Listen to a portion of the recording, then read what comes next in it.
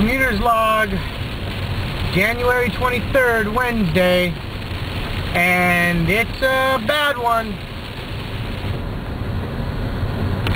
We've got uh, pouring rain. I caution you all to be very careful. I'm going to keep this log brief because it's bad enough I tape while I'm driving. I'm not going to do it in the rain. So be careful out in the rain. It's going to be wet all week.